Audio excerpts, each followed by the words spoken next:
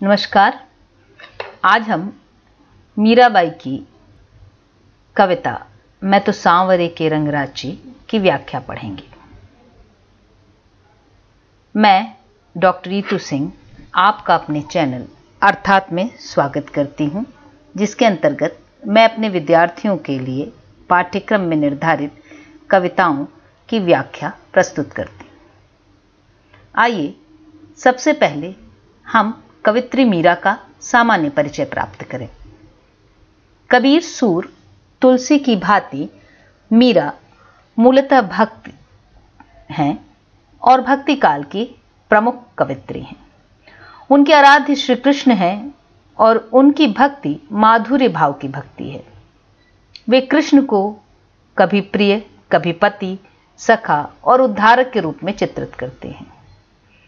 कृष्ण भक्ति के मार्ग में उन्होंने अपना सर्वस्व त्याग दिया था और राजमहल छोड़ गली गली कृष्ण भक्ति का प्रचार करती रहती थी।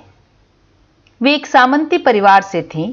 स्वाभाविक रूप से संतों के बीच उनकी स्वच्छंदता को उनका परिवार पसंद नहीं करता था और उनको बाहर निकलने तथा अपने मन का करने के लिए काफ़ी संघर्ष करना पड़ा था। जैसा कि हम सभी जानते हैं कि उनके देवर राणा जी ने उन्हें मारने तक का प्रयास किया था। मीरा के काव्य में हमें स्त्री की आत्मव्यक्ति की तड़प सुनाई पड़ती है। मीरा अपनी कविताओं से में जितनी साहसी हैं, उतनी ही संवेदनशील और भावुक भी दिखाई देती हैं। आइए हम निर्धारित कविता के का पहले पाठ करें, तत्पश्चात उसकी व्याख्या करेंगे। मैं तो सांवरे के रंगराची। साज सिंगार, बाँध पग घुंघरू, लोक लाज तजी नाची। गई कुमति लई साधु की संगति, भगत रूप भई सांची। गाय गाय हरि के गुण निस दिन, काल व्याल सू बाची।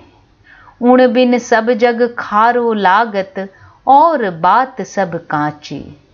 मीरा श्री गिरधरन लाल सु भगति रसीली जाची। सबसे पहले हम इस कविता के शब्दार्थ को देख लें। कुछ शब्द हैं जिनका अर्थ जान लेना आवश्यक है। सांवरे अर्थात कृष्ण जो श्यामल सा, सांवले हैं। रंगराची यानी रंग में रचना या रंग में रंगना। तज का अर्थ है त्याग कर कुमति का अर्थ है बुरीमति काल ब्याल अर्थात मृत्यु रूपी सर्प।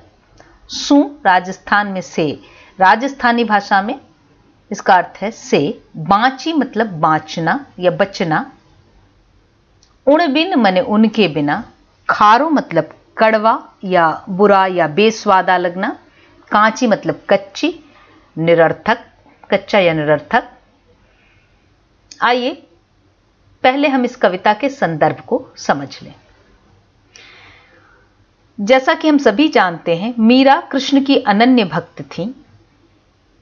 मीरा ने सांसारिक रीति रिवाजों को मानने से इनकार करते हुए अपनी स्वतंत्र चेतना को ही भक्ति का मार्ग बनाया था।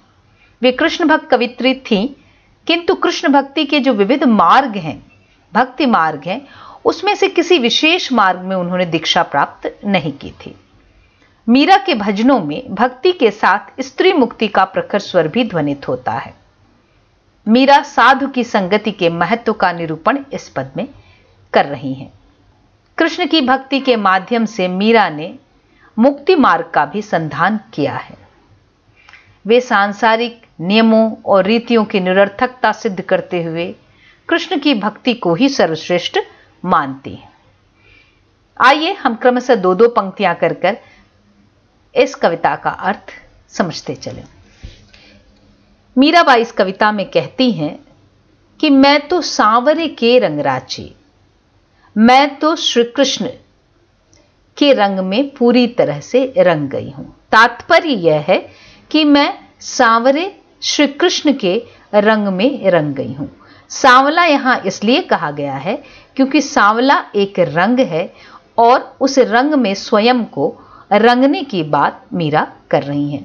कृष्ण के विविध नाम हैं और उन नामों के साथ जो गुण जुड़े हुए हैं, तदनुरूप भक्त कवि उन उन नामों का प्रयोग करते हैं। तो यहाँ चूँकि रंग में रंगने की बात वो कह रही हैं, इसलिए यहाँ उन्होंने कृष्ण के रंग से जुड़ा जो नाम प्रचलित है उसी का प्रयोग किया है और वे कहती हैं कि मैं कृष्ण के श्यामल रंग में, कृष्ण के भक्ति के रंग में पूरी तरह से रंग गई हूँ और उसका परिणाम यह हुआ है कि साज सिंगार, मैंने श्रृंगार किया है कृष्ण के लिए, बाँध पग घुंघरू, मैंने अपने पैरों में घुंघरू बांधे हैं और लोक लाज तजी नाची।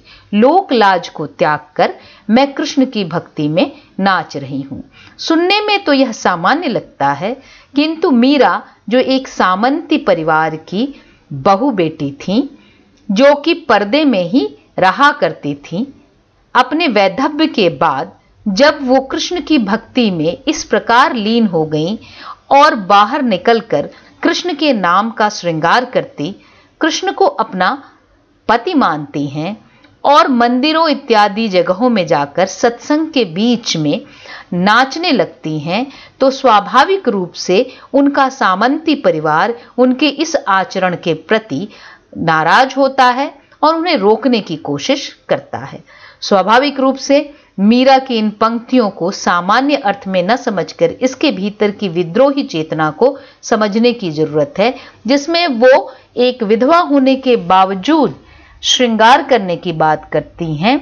एक सामंती परिवार की बहू होने के बाद भी लोकलाज त्याग कर पैर में घुंघरू बांधकर नाचने की बात करती हैं। तो यहाँ मीरा कह रही हैं कि मैं श्री कृष्ण के रंग में इस प्रकार रंग गई हूँ कि आज मैं उन्हीं के लिए श्रृंगार करती हूँ।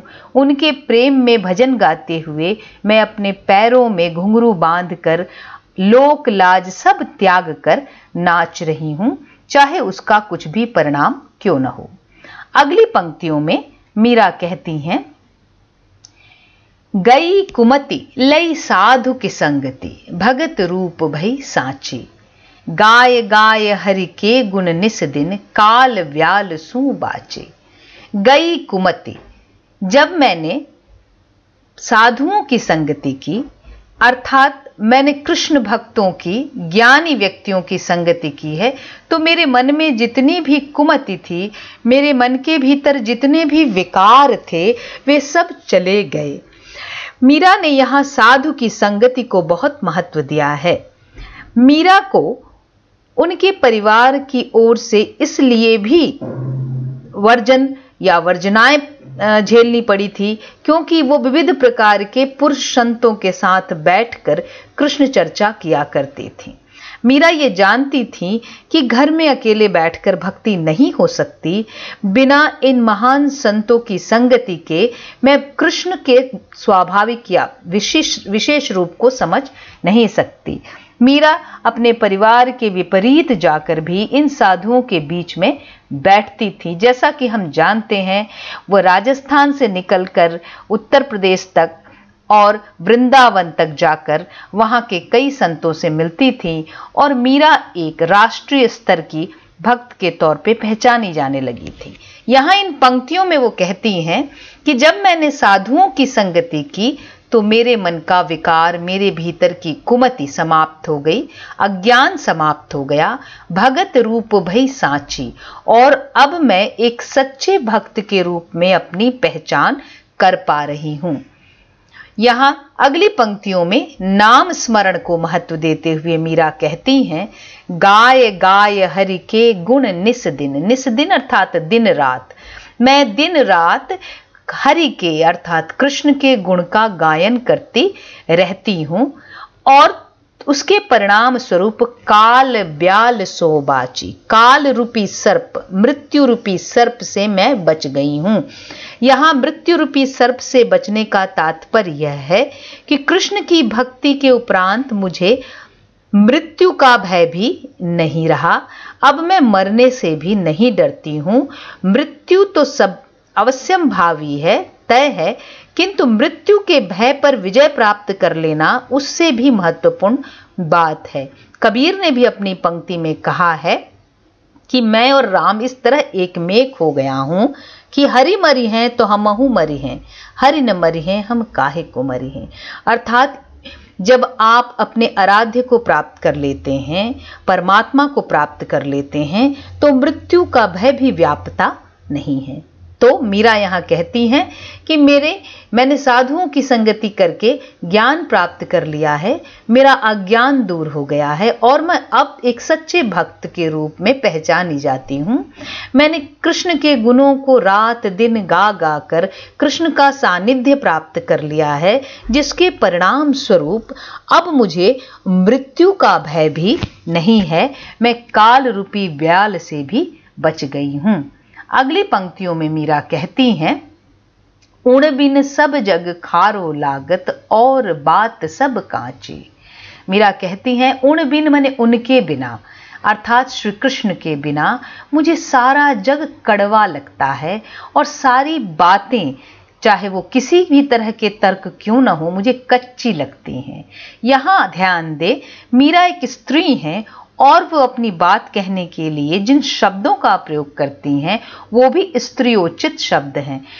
खारा और कच्चा, ये इन चीज़ों का संबंध पाक कला से है, भोजन बनाने से है। और रसीला अर्थात स्वादिष्ट, वो एक स्त्री होते हुए जानती थी कि खारा जो स्वाद है, उसे कोई पसंद नहीं करता। कच्ची चीज़ें हमें हजम नहीं होती हैं और रसीली चीज़ें हमें सदैव आकर्षित करती हैं।